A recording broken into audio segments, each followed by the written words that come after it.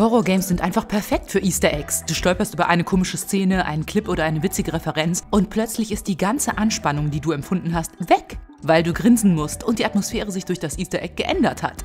Bestes Beispiel hierfür ist natürlich die berüchtigte Tanzszene aus The Evil Within Consequence, wenn du hinter einem Automaten ein kleines Guckloch entdeckst, hindurchschaust und den schlimmsten Feind des DLCs im Raum nebenan tanzen siehst. Aber keine vorsichtigen Tanzschritte, sondern richtig am Raven, auf einer Bühne und mit Groupies zum Anfeuern.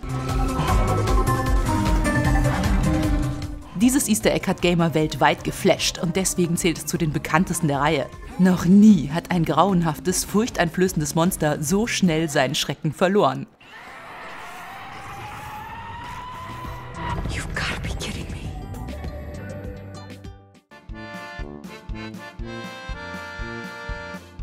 Weiter geht es mit einem herrlichen Easter Egg aus Alice Madness Returns. Äh, haben wir herrlich gesagt? So meinen wir das nicht. Denn die Referenz zu Psychonauts ist etwas makaber.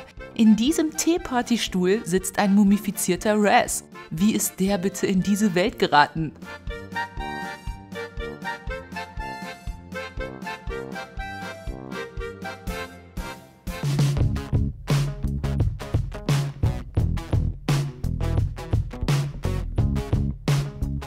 Silent Hill 3 ist normalerweise ein düsteres und vor allem bedrückendes Horrorgame. Aber wenn du es schaffst, seine Geheimnisse aufzudecken, dann wird es plötzlich zu einem der albernsten Spiele, die es gibt. Wenn du zum Beispiel den Konami-Code eingibst, wenn du New Game Plus startest, dann verändert sich der Detective, der Heather im Spiel helfen soll. Seine Hosen sind verschwunden und er läuft nur noch in Unterhose rum. Das sieht besonders weird aus, weil er noch seinen Mantel drüber trägt. Und das lässt ihn ein bisschen wie einen Exhibitionisten aussehen.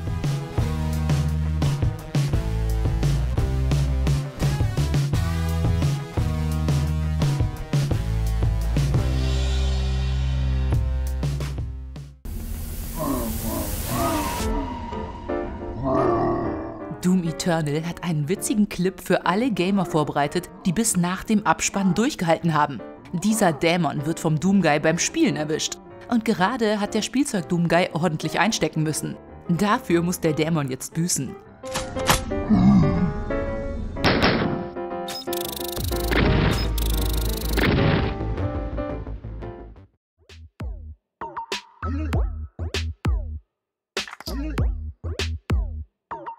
Im Abwasserkanal-Level von Dark Deception schwimmen riesige elektronische Quietscheentchen, die du ignorieren kannst, solange sie nur als Deko rumschwimmen. Doch an einer Stelle wachsen einigen von ihnen Beine und sie beginnen dich zu jagen.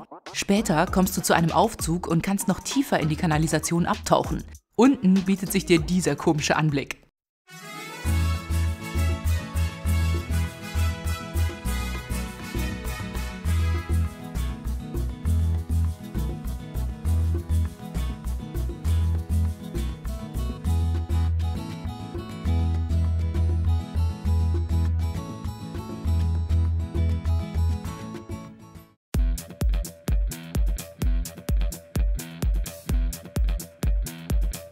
Im Survival-Horror-Game slash Ego-Shooter Hunt Showdown passieren viele seltsame Dinge. Eine mysteriöse Krankheit hat alle Einwohner in Zombies und Monster verwandelt und der Spieler soll diesen Viechern als Kopfgeldjäger den Garaus machen. Das Spiel erinnert ganz klar an den guten alten Wilden Westen. Aber warum zum Teufel hat dieser fette Fisch, den dieser Angler anscheinend schon vor einer Ewigkeit aus dem Wasser gezogen hat, einen Cowboyhut an? Der Fisch taucht später sogar nochmal auf, aber dann schaukelt er friedlich auf einem Boot daher, immer noch mit dem Hütchen auf seinem Schädel.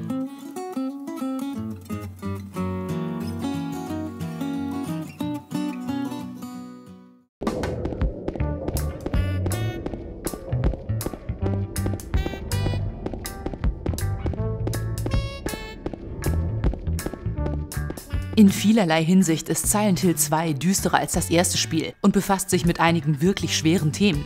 Doch das Ende könnte nicht lächerlicher und alberner sein. Wenn du es schaffst, den Hundeschlüssel zu bekommen, den man erst nach Abschluss der drei normalen Enden erhält und ihn an einer verschlossenen Tür im Hotel am Ende des Spiels benutzt, entdeckst du das schockierende Geheimnis von Silent Hill. Es handelt sich nicht um eine Geisterstadt, sondern nur um einen Hund, der in einem Zimmer sitzt und alles kontrolliert. Das ist die albernste Erklärung für ein Spiel, das von vielen als das beste psychologische Horrorspiel aller Zeiten angesehen wird. James kommt also rein, sieht den Hund einen Hebel betätigen und bricht dann vor Schreck und Überraschung zusammen. Der Shiba Inu kommt rüber und fängt an, ihm das Gesicht abzulecken. Und das war die Erklärung für die Story. Auch der Abspann selbst ist witzig. Ein nerviges Lied begleitet ein Video, in dem Fotos der Hauptfiguren in komischen Situationen gezeigt werden.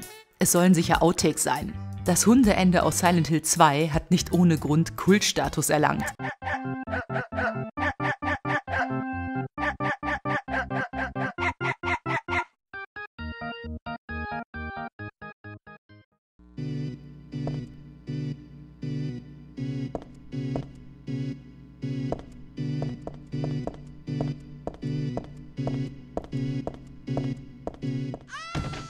Bleiben wir kurz bei der Silent Hill-Reihe, denn dieses Ende ist zwar nicht ganz so herzergreifend wie das Hundeende von Silent Hill 2, aber es ist genauso abstrus und überraschend.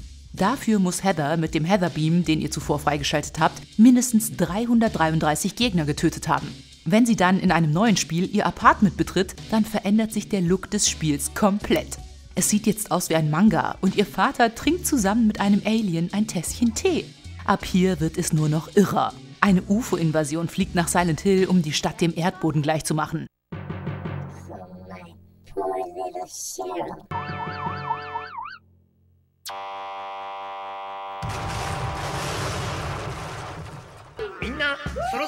Dann läuft der Abspann zusammen mit einem lustigen Lied, zu dem wir Karaoke singen sollen. Fast so bekloppt wie das Hundeende.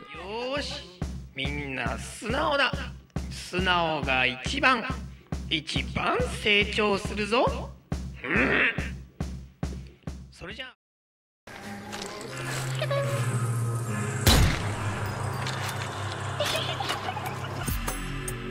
Das alles waren witzige und amüsante kleine Geheimnisse und Easter Eggs. Aber nur mal so als Gegenentwurf zeigen wir euch jetzt das unserer Meinung nach schlimmste bzw. grauenvollste Easter Egg, was uns Horror Games bisher so geliefert haben. Keine Sorge, es erwartet euch kein Jumpscare. Wenn ihr in Zombie Army 4 im Spiel bereits viele dieser gruseligen Puppen getroffen habt und dann mal den Controller für ein paar Minuten liegen lasst, weil ihr euch zum Beispiel in der Küche was zum Snacken holen wollt, dann könnte euch beim Zurückkehren das hier erwarten.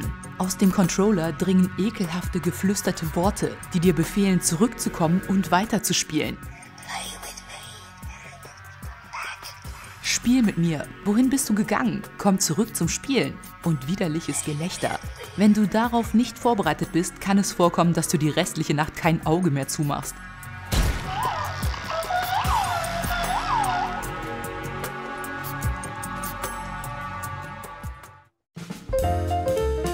Das war's schon wieder für heute. Wenn ihr wollt, sehen wir uns am Freitag um 16 Uhr wieder zum besten Start ins Wochenende. Bis dahin, passt auf euch auf, bleibt gesund und wir sehen uns.